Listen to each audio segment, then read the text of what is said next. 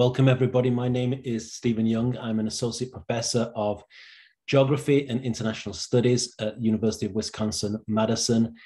I am also the faculty director of the Institute for Regional and International Studies National Resource Center, or IRIS NRC, as we're more commonly known. And uh, we're the people bringing this event to you today. Um, if you want to know a bit more about IRIS NRC, go to irisnrc.wisc.edu, and there you will find that we have um, a range of materials that are designed to engage and educate people about um, important issues in the world today, uh, lesson plans, international film clubs, international book clubs that uh, we offer um, for people on campus, but very much off campus, and K 12 educators and post secondary educators and the community at large. And we have a number of events forthcoming, so you can also sign up for the uh, mailing list if you're interested in that. We also have co sponsors for today's event. Uh, that I want to acknowledge. The University Alliance is one of our co-sponsors, as is American Indian Studies and also the Center for East Asian Studies they're also fabulous people doing uh, great work on our campus. So do uh, um, look at their events as well and, and, give them a follow on the socials. So Essie Lenchner, who works with us in Iris NRC, is running the tech today. If you have any concerns, if you're having any problems with your tech, please do uh, message Essie um, and send us something in the chat so she can try to fix that. Um, and also, as we get towards the second half of today's event, um, please do use the chat to um, pose any questions. At the end uh, of, the presentations, we'll have time for, for Q&A, so you can either post questions there and I will ask them uh, for our speakers, or you can raise a hand and, and ask yourself. Uh, before I introduce the event, um, I want to read the UW-Madison uh, Land Acknowledgement Statement. The University of Wisconsin-Madison occupies ancestral Ho-Chunk land a place their nation has called Teejop since time immemorial. In an 1832 treaty, the Ho-Chunk were forced to cede this territory. Decades of ethnic cleansing followed when both federal and state governments repeatedly, but unsuccessfully, sought to forcibly remove the Ho-Chunk from Wisconsin. This history of colonization informs our shared future of collaboration and innovation. And today, UW Madison respects the inherent sovereignty of the Ho-Chunk Nation, along with 11 other First Nations in Wisconsin and hold that in your mind because we'll be thinking uh, in today's event about what that might mean um, in material terms. So today's event is basic income. What can we learn from Australia and South Korea? The reason why this came about really was because, as some of you might know, Madison has recently launched a guaranteed income um, pilot study uh, with the first payments going out this month. Uh, other parts of Wisconsin are, are, launching similar kinds of experiments in Wausau. There's conversations happening in Milwaukee about this as well. And it's really part of a nationwide uh, movement now, the key um, institution being the Mayors for a Guaranteed Income, uh, which is providing uh, resources and material support to, um, to fuel a number of different experiments in various cities. So while this is obviously a sort of nationwide movement, it's also very much connected to a, a, global resurgence and interest in basic income, guaranteed income, universal basic income. There's a whole array of different terms. Uh, there are important distinctions between them, but there are also some very clear family resemblances between what these different policies look like as well. And I wanted to use this event as a way to connect with people who are doing uh, research and, and involved with, with basic income movements uh, in other parts of the world to see what we might be able to draw from their experiences, to see where the conversation is at in different places and, and, and what some of our hopes and, uh, and also concerns might be about where this movement is going. So I'm delighted that we have two speakers joining us uh, today, and they're going to give a presentation um, uh, first, uh, each of them for about 15 minutes, and then we'll, we'll be able to ask some questions. Our uh, first speaker is going to be uh, Elise Klein, who is an Associate Professor of Public Policy at the Crawford School uh, at Australian National University.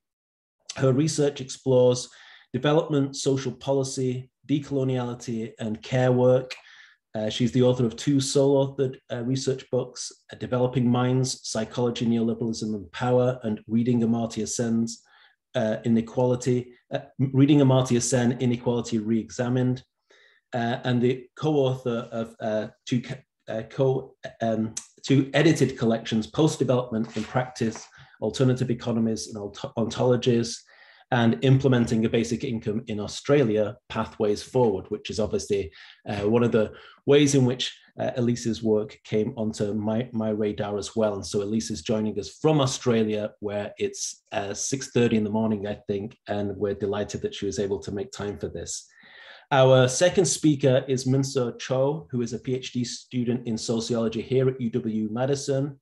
Um, He's originally from South Korea, and his broad interests concern the historical transformation of the welfare state in the Anthropocene, an era where the ecological limit um, of the regime of social security, coupled with capitalist economic growth, is growing increasingly uh, strained. Specifically, he's investigating knowledge politics of, over how to define, identify, and measure the efficacy of universal basic income in policy experiments and variously uh, uh, laboratories that are uh, trying to introduce and, and, and, refine this idea in South Korea. Um, and so I'm delighted that uh, Minseo has also uh, been able to join us today. Um, we'll hear first from uh, Elise, so um, I'll hand over to you now and um, let you share your presentation with us. Thank you. Thank you very much. And thanks everyone for having me. I um, first want to acknowledge I'm calling in on the unceded lands of the Miriwong Gadjurong people um, and acknowledge elders past, present and emerging and also want to acknowledge all First Nations people on the call today. Um, here in Australia, um, we are in talks um, for the first uh, for the first time, um, uh, thinking about sorry, treaties have been talked about here for a very long time, but finally the settler state is starting to get serious. Um, and uh, just want to say that it always was and always will be Aboriginal land. Um, I'm just going to share a little bit about the Australian situation about basic income. Um, first up, to say that both major parties of um, the federal government in Australia, the current government, the Labor government, and the uh, Liberal government, which was the former um, government of the last 10 years that lost um, uh, just last year, uh, both do not support basic income and have um, expressed those uh, comments um, on many occasions. However, the third biggest party, the Australian Greens, do, does support basic income and has a policy um, around basic income.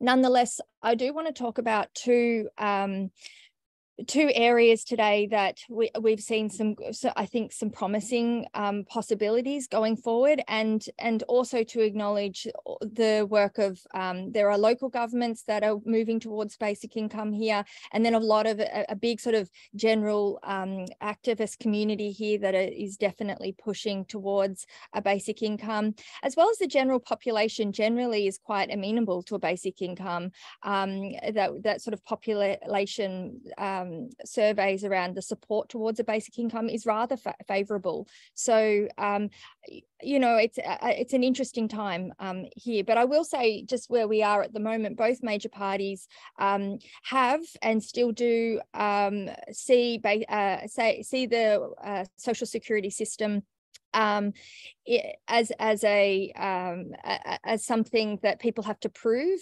um, to to get support, um, and uh, and this has been a long history in in Australia, um, where uh, punitive conditionality uh, is is the norm. So what that means is that um, if you are uh, in the, in need of of some social security payments, which a lot of folks do because um, of the increasing casualisation of the workforce in Australia, and of course not everyone can work, um, and uh, there's often also in parts, particularly in remote parts of the country where I'm calling in from now, um, the labour market uh, is, is really limited um, and very racialised, um, and, and which locks out a, a lot of First Nations people. So uh, the social security system at the moment, uh, where we have payments well below the poverty line here. So um, around about $320 a week, Australian dollars if for a single person. Um, the poverty line is $609. So you can see a massive gap between what you're given and uh, and, um, and and what you need. and that's because living costs here are very, very expensive and they've, they've increased. But also on top of that, you're not just dealing with low social security payments, you're also dealing with um, punitive welfare conditionality. So we have conditions on what you have to do to get money, meaning um, you have to, uh, you know, do work for the dole and and and things like this. Um, but also we have a program of um, uh, conditionality on what happens when you get the money, which is um, conditions on for some folks around depending on where you live, um, you uh, you've got conditions on how you can spend your money um, and part of it's quarantined onto this card so you can only you can't get cash out and you know it sort of feeds into this whole thing of reducing alcohol consumption and and that even though folks on social security don't drink any more or use any more drugs than than um, um, the workers. So you can see the kinds of stereotypes playing out um, in the social security system here I will say um, punitive uh, conditionality has uh, been long used on First Nations in, uh, in Australia. In Australia, um, it has been used as part of the assimilation processes that have been well underway since invasion, um, including you know stealing of wages and the whole sort of discourse around people can't um, people people uh, you know can't look after their their their uh, incomes so the state stole those incomes um, and then of course rations were used um, particularly where i'm calling in from um, uh, up the top north of australia um, the pastoral sector uh, used rations to um, take people off their land um, who were being hunted on their land force them onto stations to work for free and used rations as a way of co coaxing people. Um, now we have um, specific remote programs for work for the dole that are targeted at First Nations people um, that has just actually um, been announced to be uh, uh, removed because um, it was found to be racially discriminatory. Um, then, like I said, compulsory income management, that quarantining of people's incomes onto cards has been targeted at First Nations people, and the trials where it has been run out um, have been uh, at, uh, where, where First Nations people, uh, a high proportion of First Nations people have been living. So um, that's the backdrop. So it doesn't sound very good. Um, I, I, I, definitely hear that, but I do want to talk just briefly about two advancements that we've seen um, in Australia, which I think people thinking about basic income um, have uh, we can we can um, learn a lot from. Uh, but then also the last point I just wanted to reflect on is this question of um, universal payments in a in a settler colony such as Australia, but also America. Um, so I just want to say that um, at the start of COVID, something quite extraordinary happened. So I've just given you like the landscape of a very, very quick landscape of the Australian social security system currently. Everything changed really dramatically when COVID um, 19 hit in 2020. And the Conservative government um, did something that I don't think many of us saw coming. Um, and for a six month period, um, introduced a whole lot of measures that helped the social security system move towards a basic income. So what they did is they increased those very very low payments to uh, to the poverty line, so people um, you know could uh, you know uh, were not just surviving. Um, uh, so they gave a $550 fortnight supplement. They also suspended uh, mutual obligations. So they took the conditionalities away, um, which was also a move towards a basic income. They changed eligibility criteria, so they made it much easier for people to get payments. Um, and they made the claims process much easier too. So we've sort of seen this as a, as a move towards basic income. It wasn't, they did not um, talk about this, we are introducing a basic income. They talked about it as emergency measures. Um, but because of these four things, um, you know, the broadening to, towards more universal payments, uh, more livable payments, um, um, the eligibility criteria, um, we we saw this as quite an extraordinary moment for Australia. So uh, myself and and colleagues uh, did some research. So we we started talking to people who received this payment to understand what it meant for people. Um, and so I'm just showing you some of the quotes from this study. Um, I mean, over, we've asked people about the positive impacts of these measures and also the negative impacts. Overwhelmingly, people talked about the positive impacts. So, you know, um, an increase in financial security, being able to make, meet basic needs. So being able to get medical issues sorted, um, to buy new clothes, not having to ration food, um, you know, to, to be able to get my son new clothes. Um, and, and people talked about being able to better support their children. Um, they were already doing an extraordinary job supporting their children um, on payments well below the poverty line. Um, but the extra income uh, made that incredibly important work um, a little bit a little bit easier, which you see in the bottom quote there. Um, and then um, the impact of suspending mutual obligations, so those punitive conditions that the state puts on people.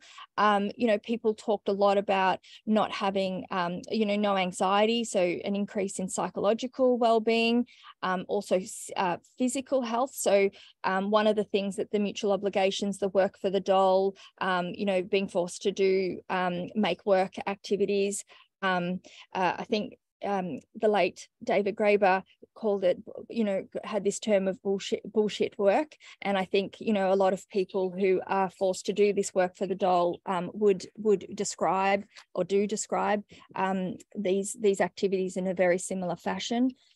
Um, and time not being wasted um, is the other thing people talked about, that they had time to actually do things that mattered to them, um, and including looking for work and, and being prepared to and, and, preparing to engage back into the workforce. So being able to think about what study options they could take up or, and, and things like that. So removing the conditionalities was a huge um, support for people too. And, and you see um, when we ask people what did they use the time for, because the state wasn't taking it the mutual obligations, you know, being able to look after kids, um, being able to do more study. And the final quote is people reporting about the kind of community work and advocacy work they were able to do with the time that they were, were given back. So I think, you know, whilst this, this moment um, was an extremely positive experience for those folks that were given the payments, um, we, when we asked them about what was negative, um, they said nothing followed by the second response that people said was um, that it would be taken away.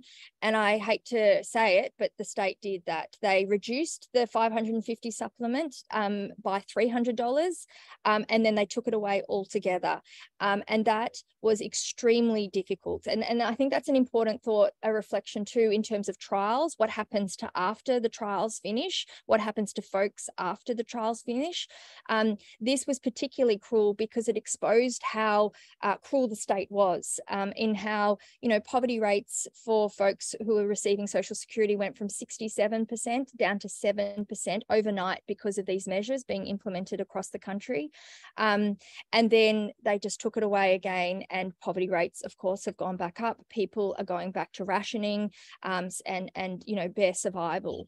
Um, and so uh, you can see the kind of policy induced poverty at play here um, uh, and and and people folks on payments being able to see that in real time in their own lives is really exposed to them how cruel um, you know the, the structural disadvantage is and how and policies role role in it. The second um, program that I just wanted to talk to you about briefly was um, because it sort of feeds into current debates um, in Australia at the moment is um, the Community Development Employment Program, which um, ran in Australia from 1977 to 2014. And it was a program um, as part of the sort of self-determination era. So like I said at the start, we've never had treaties for first with First Nations people in uh, this country.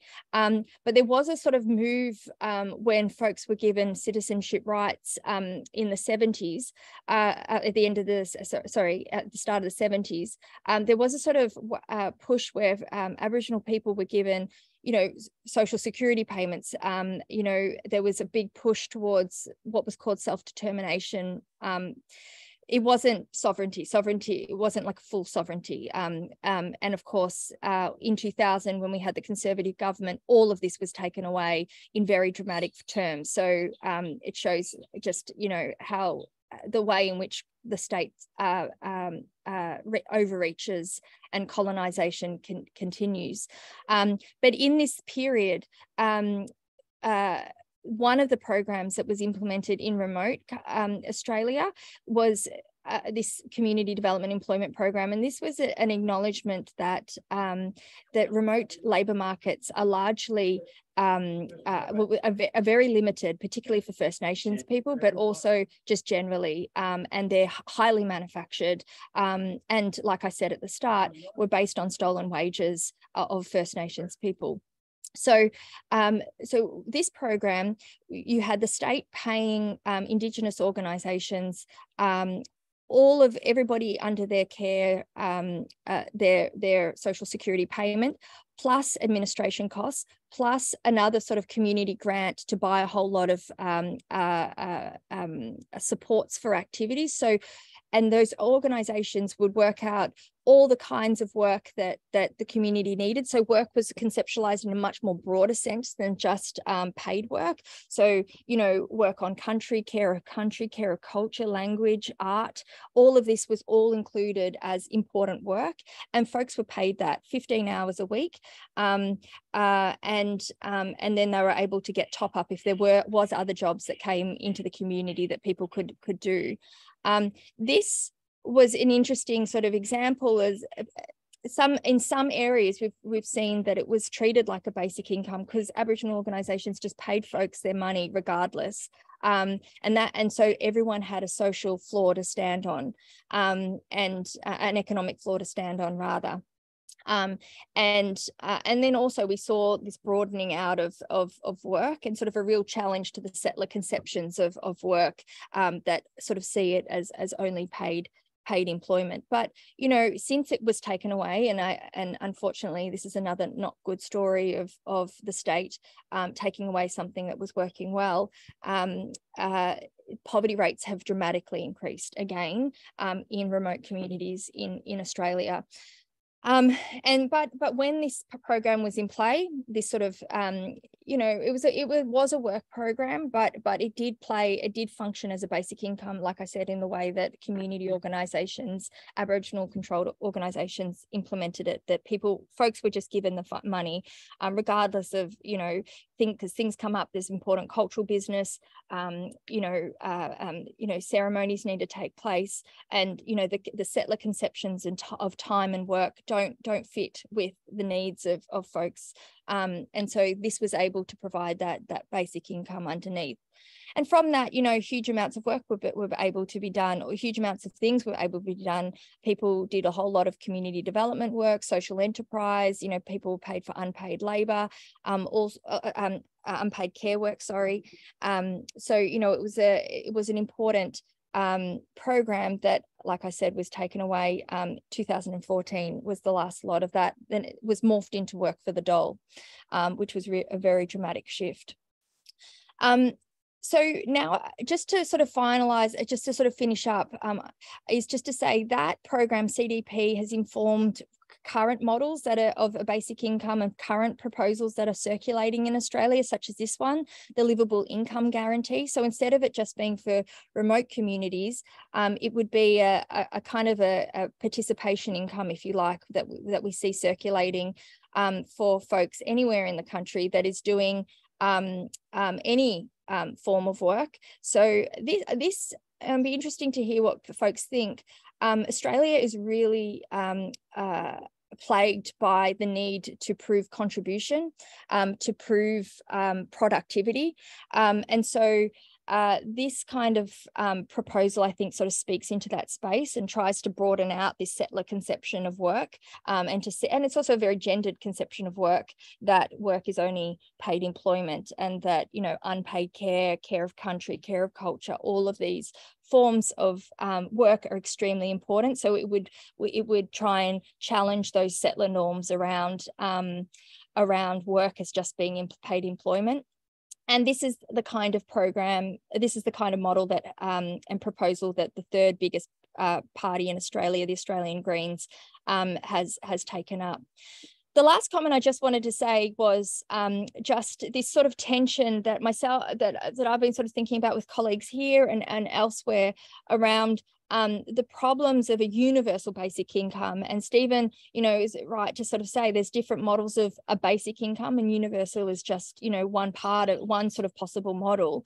Um, but these kinds of ideas of, you know, universal basic income and a rightful share for everybody, but in a settler co col um, colonial context, this question of what is rightful and what is a rightful share, I think is a really important one given um, the colonial uh, histories of dispossession um, that have gone on in our countries and that still continue to go on. And so, um, you know, uh, dispossession of land, of lives, and of labour have been a major part of Australia, but then it still continues today through the social security system, but also through the policing system, um, and of course, the land tenure system, um, and then, of course, the policy system.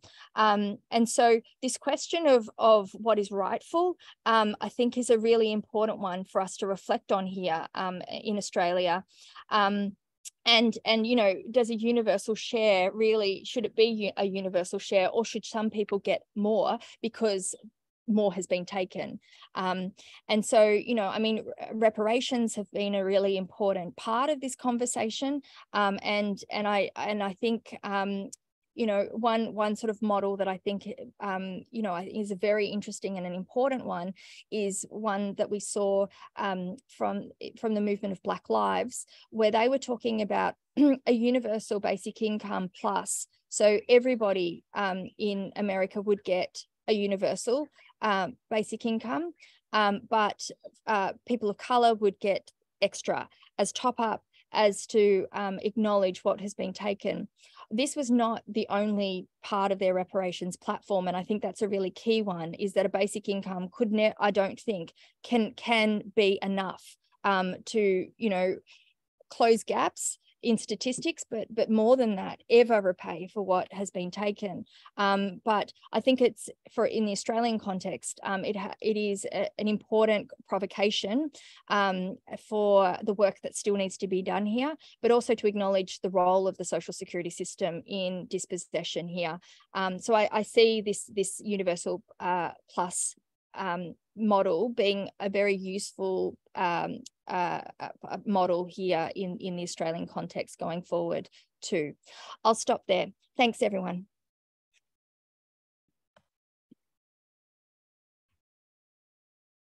Thank you so much, Elise, um, for that that presentation. That was really interesting. Lots to think through um, in the in the second half as well. Um, Minseo, why don't we turn it over to you now, and you can tell us a little about what's been happening in South Korea. Thank you. Mm, I will start now. So today I will talk about um, story of basic income in South Korea, especially one actually existing basic income policy, which is called youth basic income that I will talk about shortly. After outlining a brief context of youth basic income in South Korea, I will talk about several lessons that we can draw from this case for those interested in promoting or critically reflecting on the politics of basic income all around the world. Mm -hmm. So let me start with the brief context of basic income politics in South Korea. So there are three basic income policy experiments or experimental policy in South Korea that is existing currently. First one being Gyeonggi Youth Basic Income. Um, Gyeonggi is the largest province in South Korea that is neighboring Seoul. And in this, in this province, if you are age 24, you can get almost $900 a year um, just for the sake of living in the city, living in the province, without any means testing and conditionality. So this is the one I will talk about today. There are also two other more basic income pilots or policy in South Korea, farmers basic income and rural basic income pilot. I will mainly talk about the first one, youth basic income today. Um, what started basic income policy or frenzy in South Korea is this organization called Basic Income Korea Network, starting from 2009 that was geared toward this idea of universal and unconditional periodic basic income for everyone. So rather than guaranteed income or negative income tax, universal basic income, UBI, was the idea that was most appealing to those activists in South Korea. It was initially led by socialists, but it gradually expanded to this alliance with other social democrats or social workers and more realistic politicians who tried to implement this idea for their own policy scheme. So Gyeonggi Youth Basic Income, GYBI, was preceded by Seongnam Youth Dividend, um, which, is, which was also implemented by the same politician named Jae Myung Lee, who was first the mayor of Seongnam City, which is also neighboring city of Seoul and part of Gyeonggi province. And then after he became a governor for Gyeonggi province, he expanded this Seongnam Youth Dividend into Gyeonggi Youth Basic Income um, with the same amount of cash payment, with the same eligibility and same criteria for recipients, um, which took place in 2019. So how was this policy made? In 2014, Basic Income Korea Network was connected to Jae Myung Lee, the mayor of Seongnam City, through one economist who was working in this city, who was also a member of BIKN, a Marxist economist actually. Um, and the political background was there was an emerging social activism for universalist welfare states because South Korea already has a highly selectivist, selectivism, selectivist cash transfer program for the poor people. So the main axis of political antagonism in welfare policy was whether we have to have still highly selectivist welfare system or do we have to extend the cash provision or other welfare benefit for the whole population. And in this context, the mayor, Jae Myung Lee, who wasn't, who was far from being socialist, tried to implement the idea of basic income in order to forward his own politics of universal welfare state agenda. Then why was it the youth? Why was youth selected as a policy category for the first recipient of basic income? That was the question. For policymakers, their their salient motive was that because of this increasingly salient youth problem in South Korea after 1997 financial crisis, underemployment or unemployment of young population was becoming a concern for mainstream political parties, um, both Conservative Party and Democratic Party. So that was the motive for policymaker. But for activists, they had a different goal that is aside from solving youth problem. Um, borrowing a famous phrase from the anthropologist Ferguson, um, James Ferguson, they tried to forward this idea of we can give a cash benefit for the working age population, which has been a moral taboo in social policy, even in the most progressive welfare state, even in like social democratic welfare state. They tried to forward this idea of transgressing this moral taboo. If they could give a money, a fish to working age youth, then they thought that they could expand the criteria or eligibility of this universal basic income for everybody. So that was their strategic starting point for forwarding their basic income policies. Of course, this idea was facing a fierce opposition coming from the ruling party, the conservative ruling party called Saenuri Party. Um, their main argument was that youth as a working age population, who was epitome of vigor, energy, and potential and opportunity they don't deserve any direct cash handouts. There was a discourse of infantilizing those youth, um, casting a dub over um, maybe they could use this money for alcohol or other undeserving usage. So it was typical uh, sort of contempt or resentment for this undeserving poor or untrustworthy undeserving poor.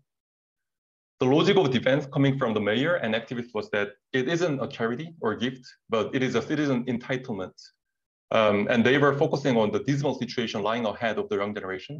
So we can already see a dissonance between the intended motive of basic income activists and the actual real politic logic that they employed to defend this policy, because they were already mobilizing the specificity of the young population to justify the universal basic income as they originally framed it.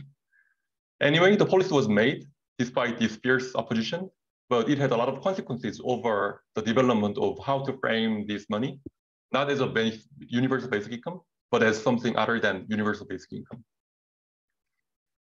There were tons of positive coverage around this money, the scarce money called universal basic income, uh, from both academia and from media or journalism in the public sphere, um, led by those economists and social welfare scholars employed by Gyeonggi province or Democratic Party they published a lot of results that is demonstrating how this money empowered this young population, this young people's life, more time for self-development, more time for reading books, more time for engaging with their um, friends, family. Also less time for using the unwanted part-time job because those 23, 24 years old youth in South Korea, they were supposed to prepare for their job seeking.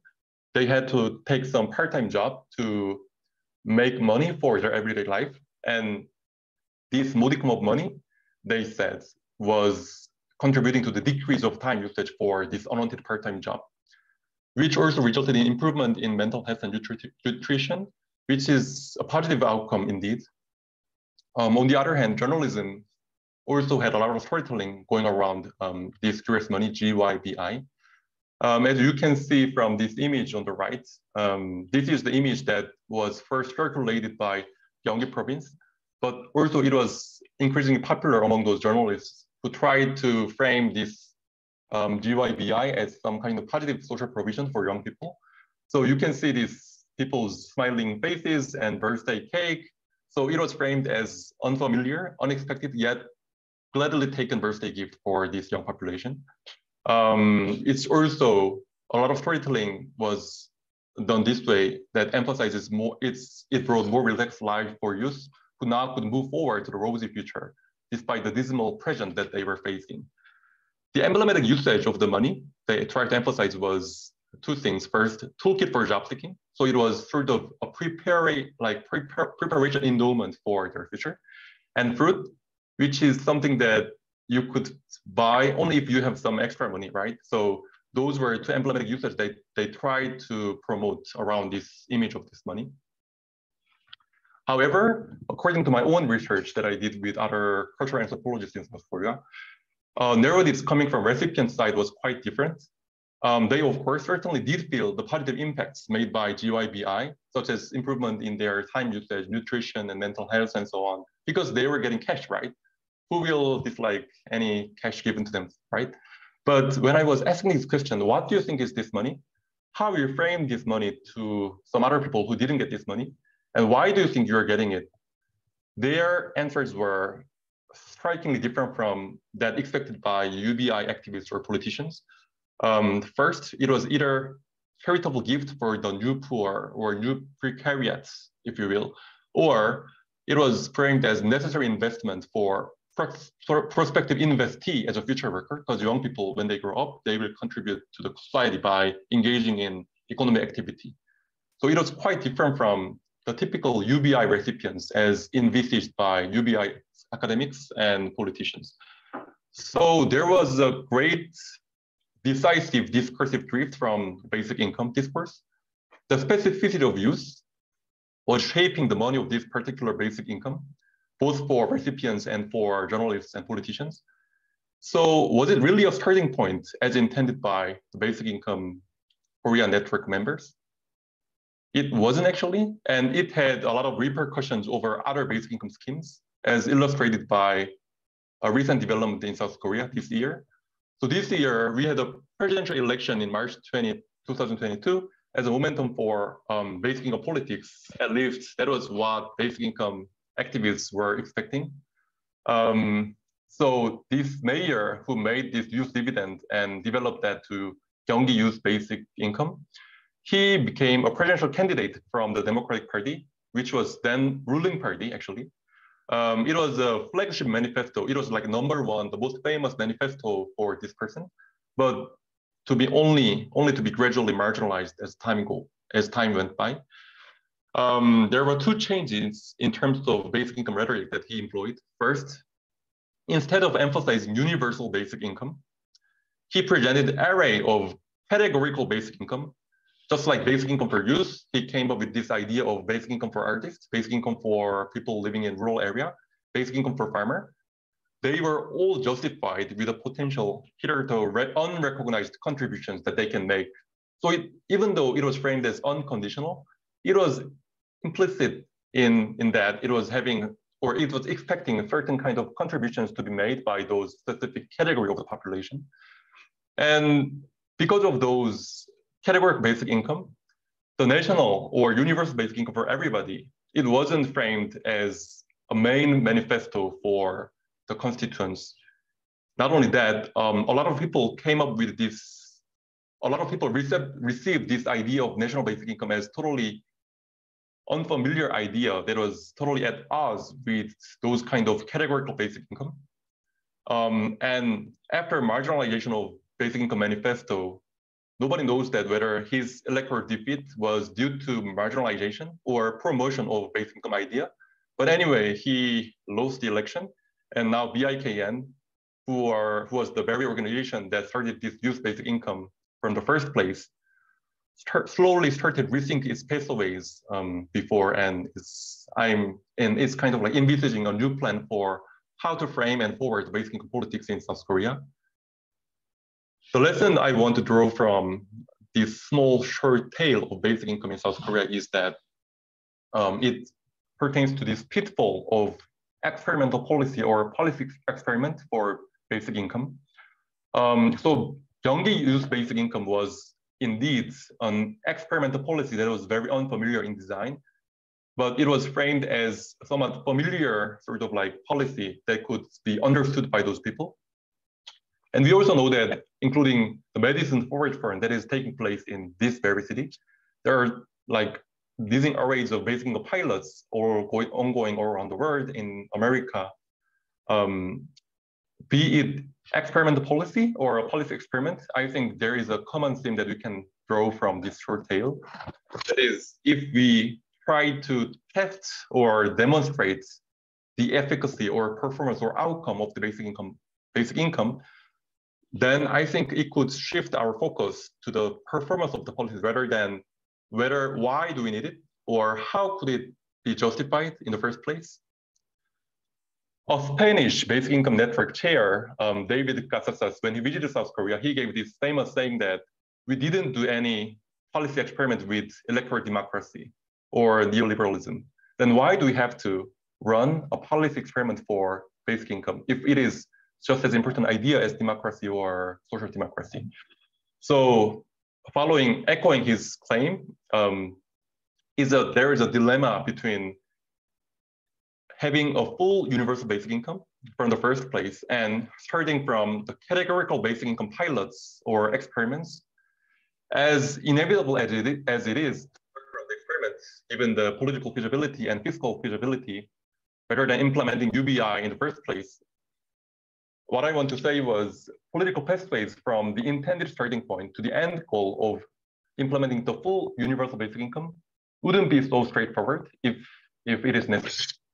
So yeah, that is what I wanted to say. And before joining this event, um, I checked all those other kind of basic income pilots um, run by mayors for guaranteed income in US.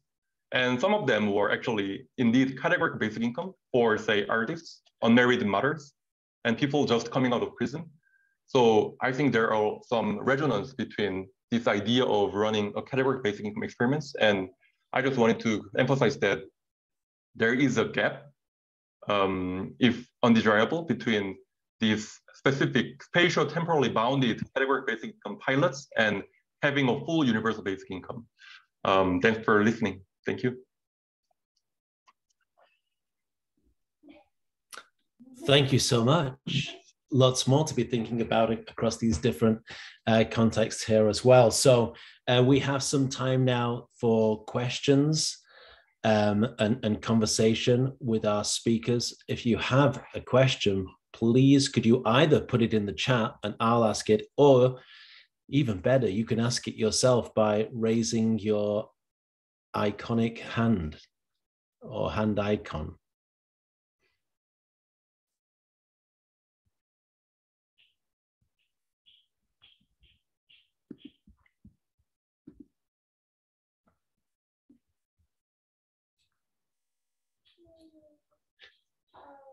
While you're all thinking, shall I ask a question? Why not? Uh, my question is um, to, to, to, both speakers uh, in, in, thinking about South Korea, thinking about Australia is, is there, a, would you say, a kind of a movement, so to speak, uh, around basic income? I can remember you were talking, uh, Elise, about the sort of um, local governments being interested in the idea, about different activist communities being engaged with this, and about a kind of broader public support. And likewise, it sounds like certain constituents in, in, in South Korea, particularly uh, in this region, Minseo, were, were interested in. Has it are there signs that this can and, and of course one of the famous things about basic income is that it, it, it uh, generates interest across a, a, a, wide swath of the political spectrum are, are, there ways in which you can see that sort of coalescing into a kind of movement where people would um, want to sort of come out and and march for this or demand for it or refuse to see this taken away um, so thank you. I, I think, yeah, I mean, the polling that's been done, just, um, you know, focus group polling across the country, um, uh, I think about there's about a 50% support for a basic income. Um, and that's quite extraordinary given the kind of punitive policies that we've always seen, we've, we've seen for a long time here, um, where people, uh, you know, the question when just the, you know, whatever the ordinary voter, they sort of talk about being asked, would you support a basic income um, and also a, a, payment above the poverty line without conditions are both the questions and there is broad-based support for it but what i was a bit concerned about is when the um, government talked about take back in 2020 and they were saying we're going to take away that that um, those COVID measures were that were unconditional and that were a, a more generous payment or a better payment at least. Um, people did it. There was no outrage you know, I mean, a lot of us, you know, the advocates or um, activists definitely, and, and folks that were on payments who were going to have them taken away, of course, all spoke out. But the general, you know, population the settler population didn't really bat an eyelid and so that that was really troubling and i think we're still trying to get our heads around all of that um but, but so i think there's sort of a, a sort of a a discrimination against those structurally marginalized and find themselves on social security. Um, and then I also think people there's a part of people's brains here that think, well, you know, it could you know, casualization is real. I could lose my job at any time, so I kind of would like a basic income. So there's sort of a discrimination against folks that are structurally mar- marginalized, and then also, but when they think about themselves, they might think about a basic income. So yeah, I, it will take a um a, a major party to really um, campaign for it. I don't think people will be out in the streets for it. It's, you know, a lot of set, like people here are a bit complacent, quite frankly. So, yeah, I don't, I don't think they're going to be out in the street for it. But I, I think it'll end up being something that will be necessary, um, uh, given the way in which the employment um, situation's going here. Um, my answer is pretty much in response with uh, what Alex uh, mentioned. So first, uh, those people who is far from the social protection that is um, aligned with like this sort of organized capitalism um, that we had in like this era in Nordic country, they are like strong um, opponents of the idea of basic income, whereas those people working in like platform sector or self-employed people, they're more of a proponent. And um, even though this person, Jae Lee, the former mayor of the city who made basic income got into these presidential candidates, there was a fierce opposition coming within the Democratic Party as well, especially from the people who was oriented toward this idea of having a, we have to have a first a robust social democratic welfare state first. And then there is, um, the basic income is to be thought only after we have accomplished a Nordic model or Finnish model of welfare state. So um, even though it is gaining ground um, among these small number of people who is um, increasingly emerging as a like salient capitalist subject, like platform worker and self-employed, there is a little support coming from the major political party, I would say. Mm -hmm. Mm -hmm. um, thank you. I, am going to um, pose a couple of questions that are, are, are in the chat um, so that you can both uh, re respond to both of them. Um, one is about the idea of implementing a global UBI, and would that be more sort of sustainable in the long run? I know that there are some people who've thought about it in, in, in these terms as well. And I guess that that does get at the question of the kind of scale at which this kind of polish we should be mobilizing around this policy as well. So any thoughts on on that? Uh, you know, we, we see a lot of stuff happening in cities or in regions about, you know, moving beyond the nation, thinking about global UBI. Um, and a second question is about, in terms of your own research, what aspect of, of basic income are you most interested in in exploring in your own research? What are the maybe the, the question that you think is uh, maybe needs still to be answered? And also, while you're thinking about that, so there's a question about your reference to fruit as a as a thing that uh, you could as almost a, a, a luxury that a, UBI would uh, allow you. And and uh, maybe not something people think about in the, in the, US context but maybe you can tell us a bit about that. But uh, Elisa I'll let you uh, answer first if you would.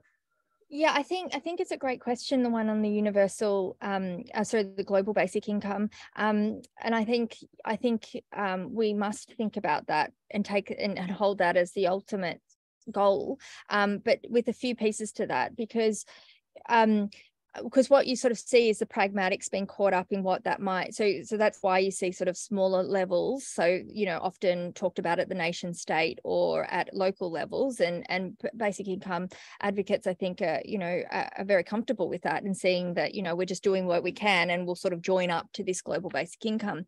My issue with uh, some of that stuff is there needs to me there needs to be a greater focus of the issues of unequal exchange and the kinds of ways in which since colonization the global economy has been structured so that you know um, what labor that I will do here in Australia will pay be paid at a certain amount, whereas if folks in Mali were doing the same um, labor, they would be paid at a much lower rate. That rate that is no mistake of design. That has been you know set up um, from um, through sort of relations set up through colonization and um, um, economic policies such as structural adjustment and and various other trade policies, etc., etc. So, um, you know, th- that's kind of the politics, or and but also very practical policies that don't I don't get enough attention. I think with this push of um, of uh, global basic income, it's sort of seen as yeah, it's a good goal and everyone will get a basic income, but but the sort of way in which coloniality still plays out and would still play out,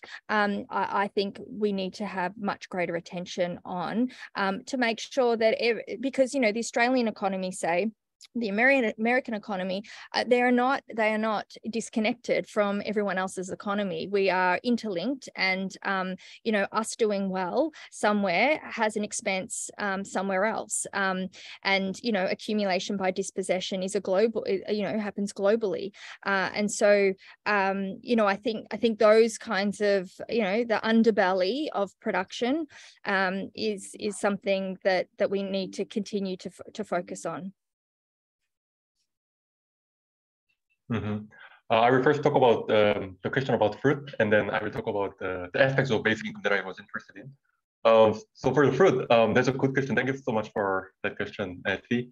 Um, so fruit isn't particularly expensive, as you mentioned. It is, however, sort of like a small luxury. So um, if those use um, use their money for, say, buying a AirPod or iPad, right? It is a undeserving consumption for them because like um, they didn't like the kind of like money themselves, so they have to use it for um, the real necessity that they are facing. Um, but you know, they couldn't just like eat just cup noodle or like just street street food, right? So fruit is something that is nutritious enough and a little bit small luxury, sort of um, that you, uh, as understood by those policymakers and journalists, that those um, super poor youth wouldn't dare buy if they don't have any like you know pocket money. But if they are given like small just sum of money, um, fruit is fruit is something that could be a part of those um, um, positive tale or storytelling around UBI because they are using for their sake.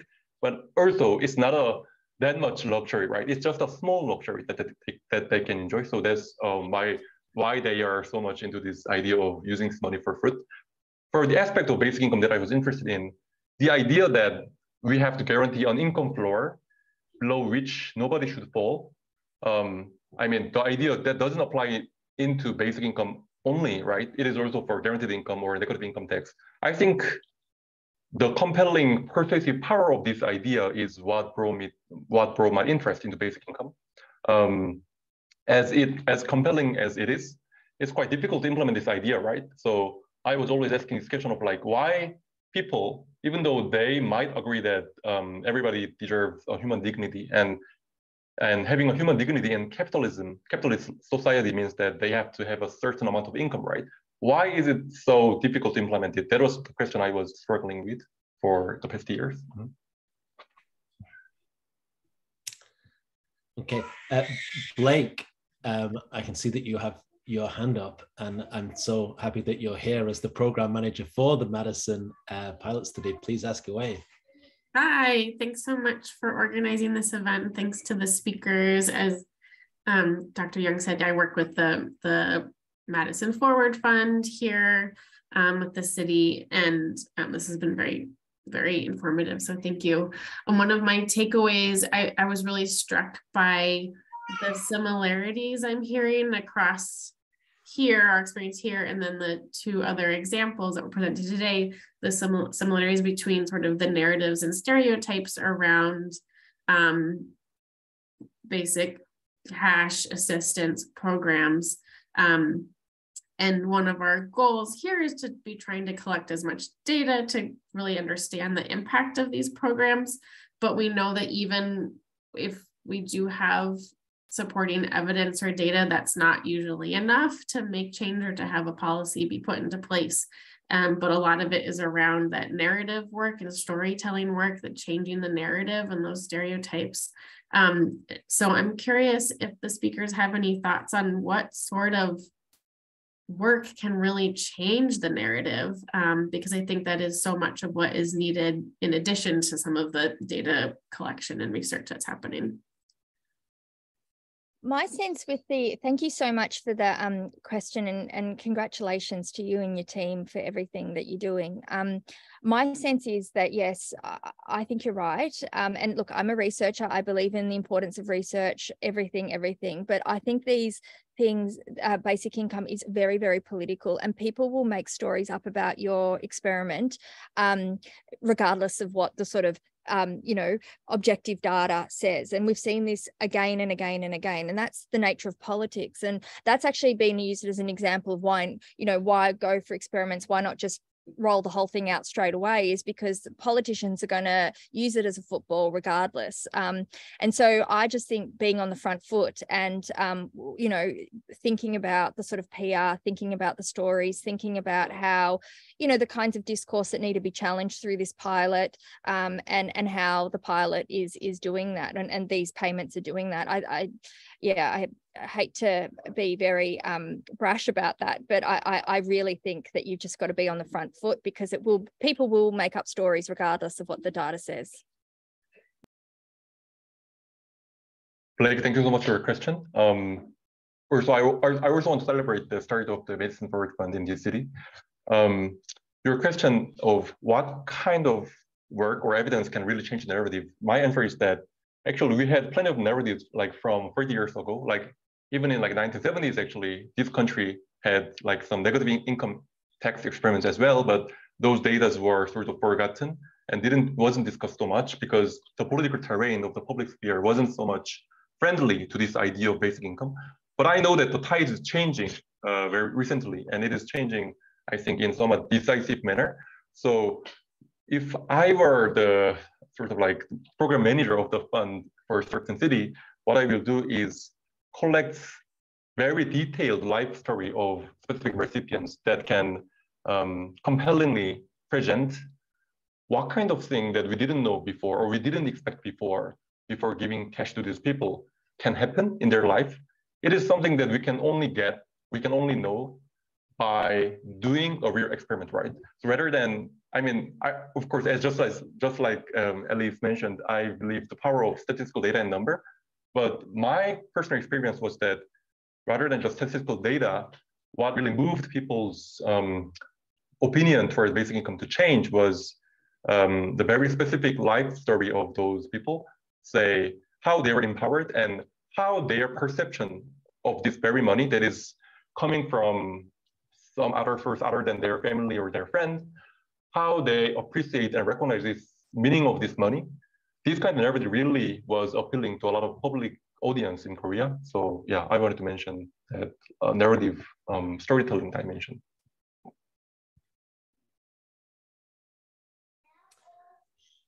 thank you so much for the questions. Thank you so much for your responses to our speakers. People, we're at time we really are. I know that I would like to keep talking about this, but to be respectful of, of everybody's time, I'm going to draw things to a close here. Uh, what I will say is that there is a recording of this event. That recording will go out, and maybe we can also uh, encourage you to uh, visit the, the websites of our two speakers today um, and um, follow up and, and, read some of the, the work that they're uh, uh, published and some of the research that they're working on right now to learn more about that. And uh, thank you so much for attending. So many, uh, it seems like such a simple idea, just, you know, giving cash to people, but who gets it, how much you get it, why, how do you pay for it? Um, what are they supposed to do with it? All of these questions are why we need to have these kinds of um, uh, dialogues uh, across the world really right now about this uh, important issue. So thank you, uh, Elise Klein. Thank you, Minseo Cho. Um, thanks to everyone for coming and uh, be well.